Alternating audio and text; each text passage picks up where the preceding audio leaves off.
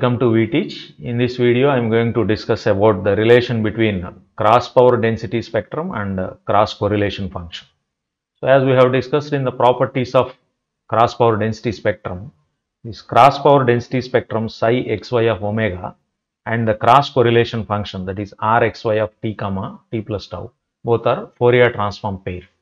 So, that means psi xy of omega can be expressed as integral minus infinity to infinity time average of the cross correlation function that is limit t tends to infinity 1 by 2t integral minus t to t r xy of t comma t plus tau into e power minus j omega tau d tau. That means the cross correlation function and cross power density spectrum. The relation is time average of the cross power density spectrum cross correlation function that is a of time average of r xy of t comma t plus tau and cross power density spectrum psi xy of omega forms the Fourier transform pair.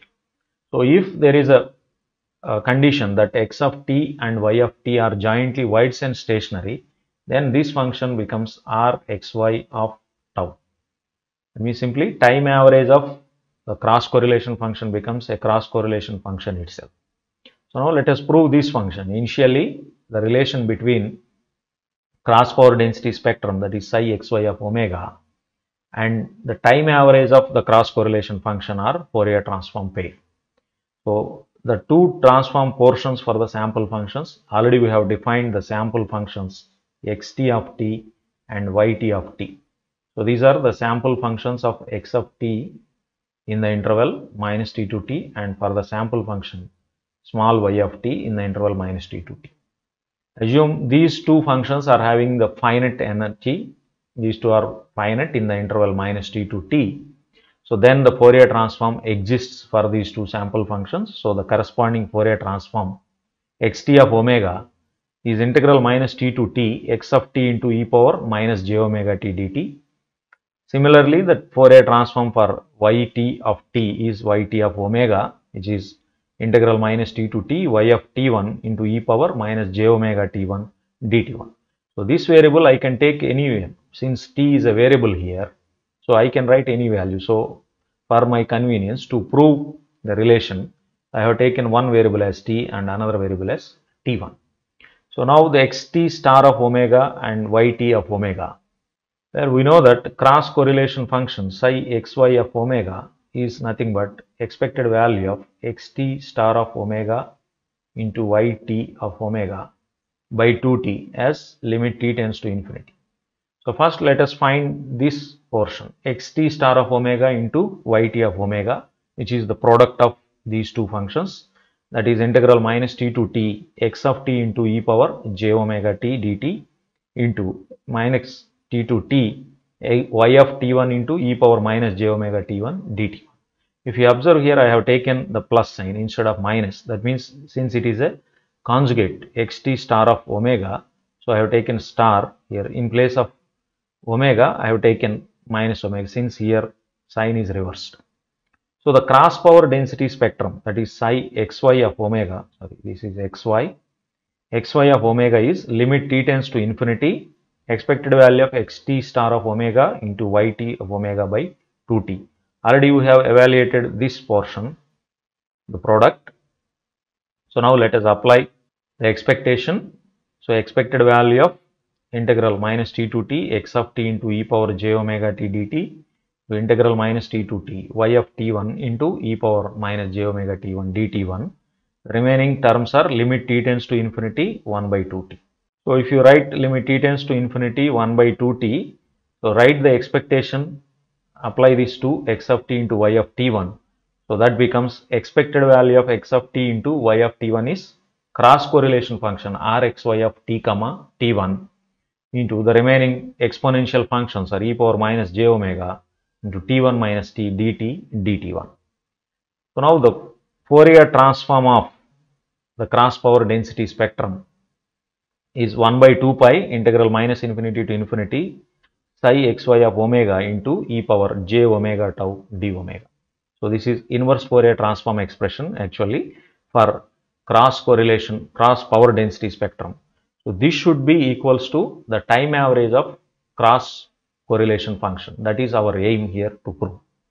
So, which is equals to 1 by 2 pi integral minus infinity to infinity psi xy of omega. This is the expression limit t tends to infinity 1 by 2t double integral rxy of t comma t1 e power minus j omega t1 minus t dt dt1 into e power j omega t d omega. So, write all the exponential functions at one place. So, it is e power j omega to t minus t1 plus tau. I have written instead of j omega minus j omega, I have written j omega. So, it is in the form of 1 by 2 pi integral minus infinity to infinity e power j omega t. So, we can write this as del of omega or del of t. So, since del of minus t is equals to del of t, that means it is a symmetric function in t. So, we can write this t minus t1 my plus tau as t1 minus of t plus tau. So, the remaining function is limit t tends to infinity 1 by 2t integral minus t to t r xy of t comma t1 del of t1 minus of t plus tau dt1 dt.